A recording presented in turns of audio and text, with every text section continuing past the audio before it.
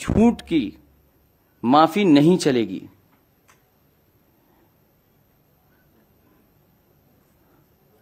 जो लोगों ने माफ़ी मांगी है, वो लोग हमेशा के लिए राजनीति छोड़ने का भी वचन दें। ये सोच रहे हैं कि दिखावटी माफ़ी मांग करके ये फिर से या दोबारा आएँगे। ये जनता इनको समझती है। जिस तरीके से भूमि अधिग्रहण कानून लाए गए थे और काले कानून जो तीन थे, ये भी वापस हुए हैं।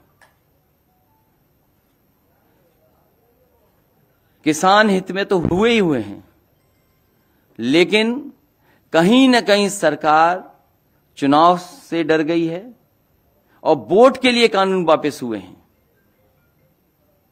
उनकी नज़र में किसान नहीं है। और किसानों को कितना अपमानित किया। किसानों को कितना अपमानित होना पड़े। क्या क्या नहीं सुनना पड़ा। जिन शब्दों का इस्तेमाल किया गया, कोई कल्पना नहीं कर सकता कि अन्नदाता के लिए ये शब्द भी इस्तेमाल किए जा सकते हैं। वो भारतीय जनता पार्टी ने इस्तेमाल किया। और उनके सहयोगी, उनके साथियों ने हर मौके पर अपमानित किया है। और ये केवल एक की ज़िम्मेदारी नहीं होती है। मंत्रिमंडल की सामूहिक ज़िम्मेदारी होती है। अगर सामूहिक ज़िम्मेदारी है, न केवल मंत्रिमंडल को इस्तीफा देना चाहिए, बल्कि सरकार को इस्तीफा देना चाहिए पूरा का पूरा। और फिर लखीमपुर के हत्यारे कैसे बच जाएँगे? ये सरकार की ज़िम्मेदारी बनती है, जहाँ इतनी माफ़ी मांगी गई, कानून को वापस ले लिया गया है। वहीं यह भी तो ज़िम्मेदारी सरकार की बनती है कि जिस मंत्री पर आरोप है, वो मंत्री अभी भी मंत्रिमंडल में है।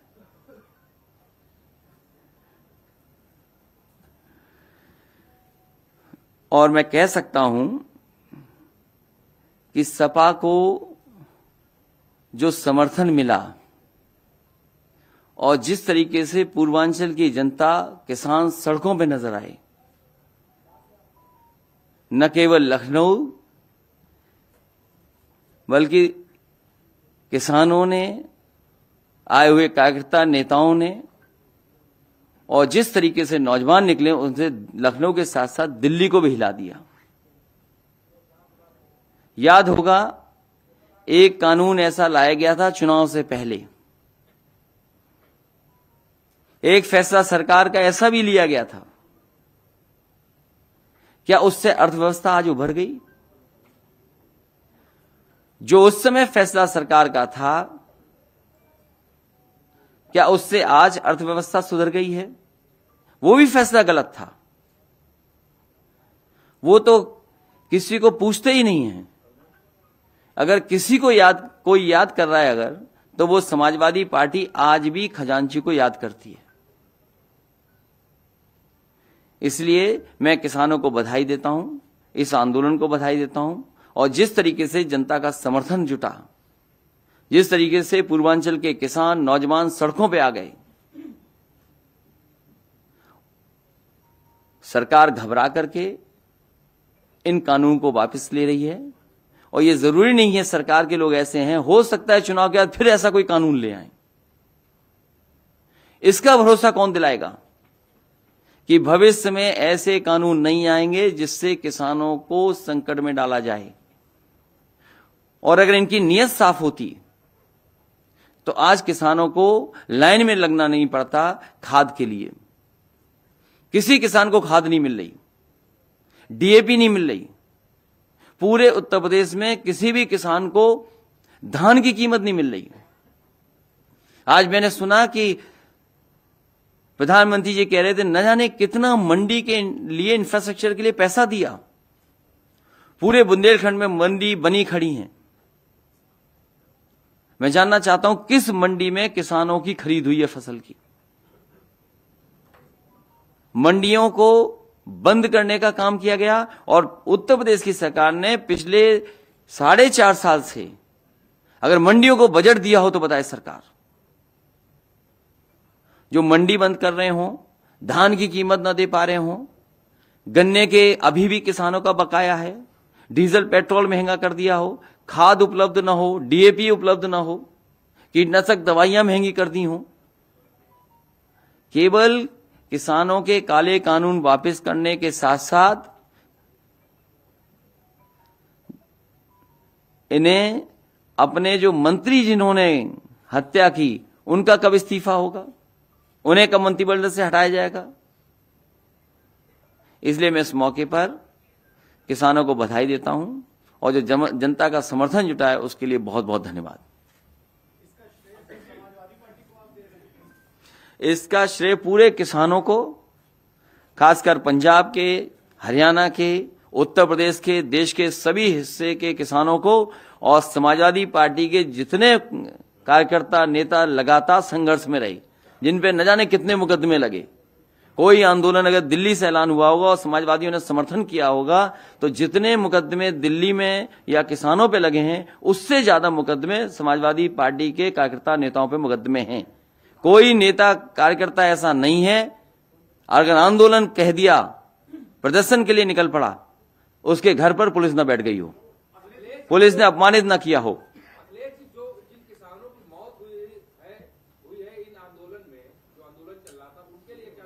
सरकार को मदद करनी चाहिए। जो बड़ी संख्या में किसानों की जान गई है, सरकार आए, केंद्र सरकार उनकी मदद करे।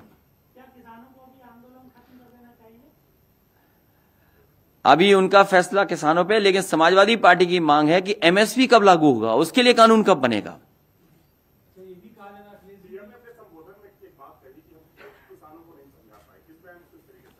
मैं समझता हूँ, भारतीय जनता पार्टी खुद नहीं समझना चाहती है।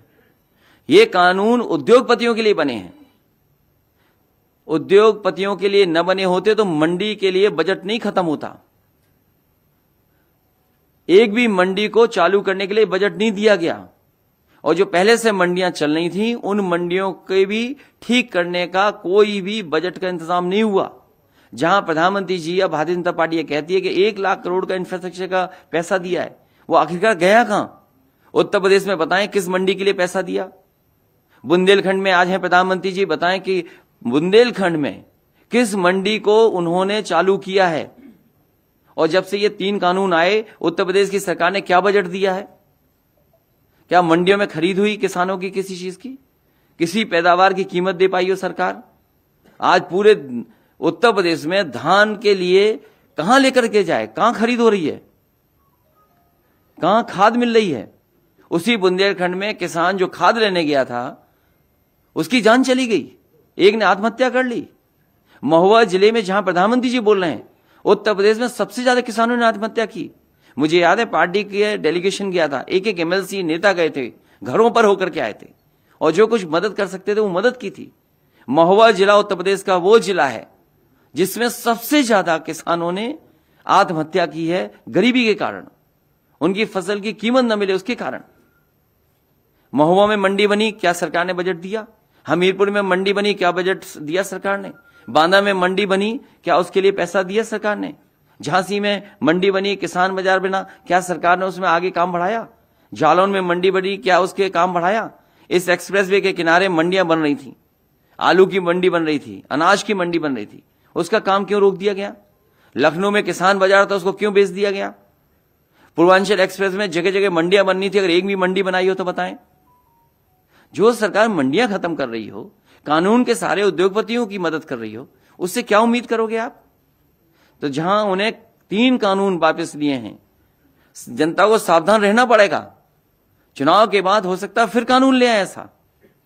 इसीलिए बिना इन्हें हटाए, बिना इनका सफाया किए, किसानों के हित में फैसले नहीं होंगे।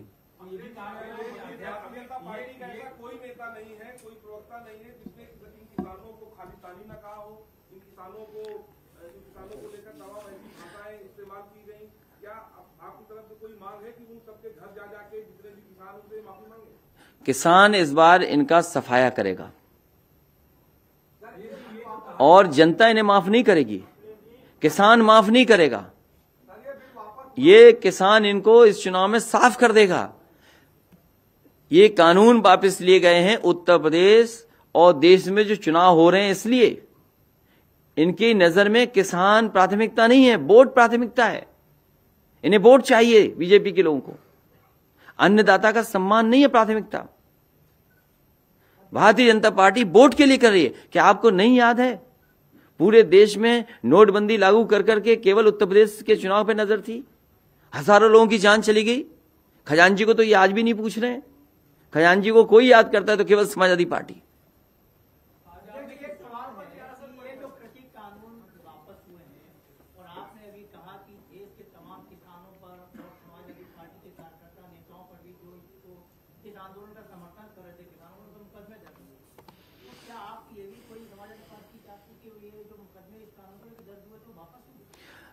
क्या भारतीय जनता पार्टी जिन किसानों की जान चलेगी उन्हें वापस ला सकती है? क्या किसानों के साथ जो अन्याय हुआ, उसके लिए क्या माफ़ी मांगेगी भारतीय जनता पार्टी? कितना किसानों को अपमानित होना पड़ा? और उत्तर प्रदेश में सूची निकाली है आप। कितनी बड़ी संख्या में समाजवादी कार्यकर्ताओं पर मुकदमे हुए देश में अगर सबसे ज़्यादा मुकदमे कहीं हुए होंगे तो किसानों के आंदोलन में समाजवादी पार्टी पे आंदोलन हुए मुकदमे हुए इस बार जनता साफ़ करेगी। माफ़ी नहीं चलेगी, जनता इनको साफ़ करेगी। और इसीलिए मैंने कहा कि जो जन समर्थन पूर्वांचल का दिखाई दिया, किसानों का, नौजवानों का, उससे न केवल लखनऊ हिल गया, बल्कि दिल्ली भी हिल गया।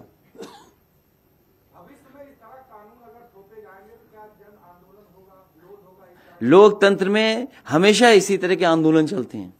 लोग अपनी बात रखने के लिए आंदोलन करते हैं।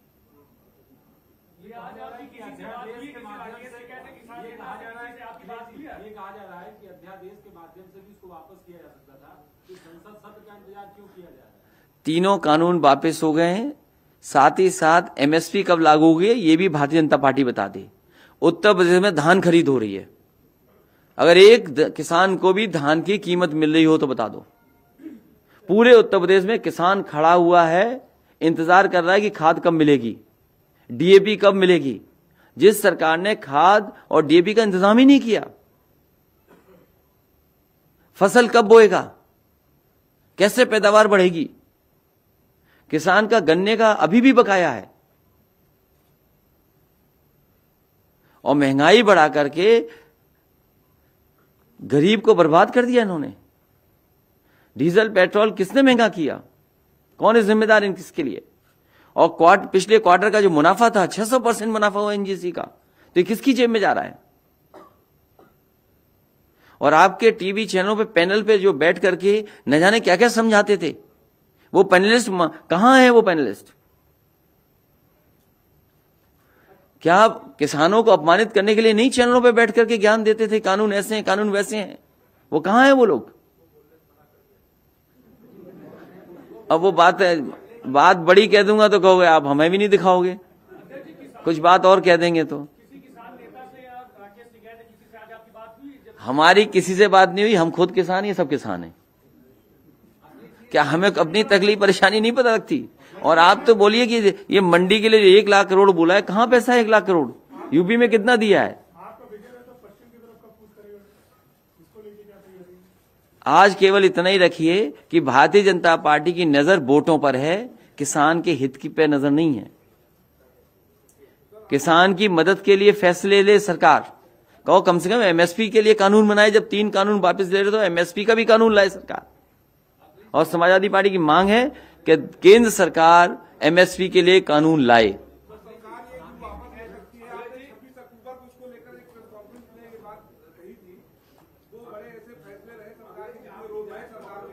हाँ? ये सब मिलने आए थे, इसलिए मैंने कहा, आपसे ही मिला दूँ।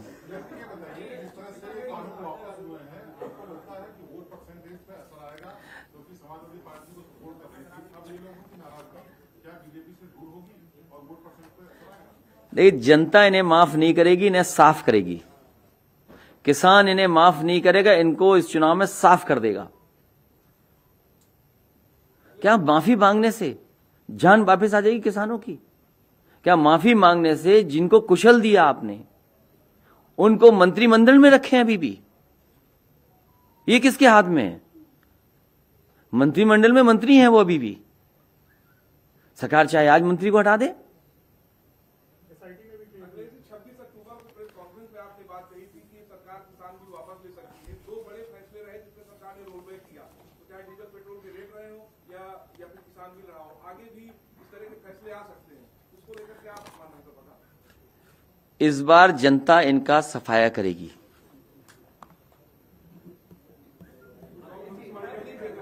यही भविष्यवाणी है कि जनता इस बार इनका सफाया करेगी दो हज़ार बाईस में आप पुनः शपथ ग्रहण लेते हैं तो जो पीड़ित किसान हैं उनके लिए आप क्या करेंगे केंद्र सरकार से, अभी मैं सरकार में नहीं हूँ।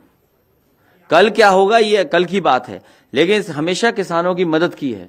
और आप पता करिए, बुंदेलखंड से उत्तर प्रदेश में सबसे पहले नेताजी ने शुरू किया था, अगर किसी किसान के साथ ऐसी दुर्घटना हो जाए या जान चली जाए तो उत्तर प्रदेश की सरकार मदद करती थी।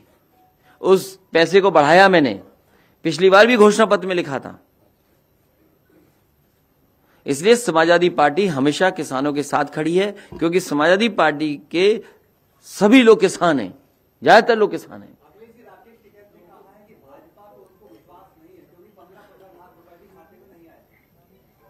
समाजवादी पार्टी का मानना है कि किसानों की मदद हो, एमएसपी के लिए कानून बनाया जाए।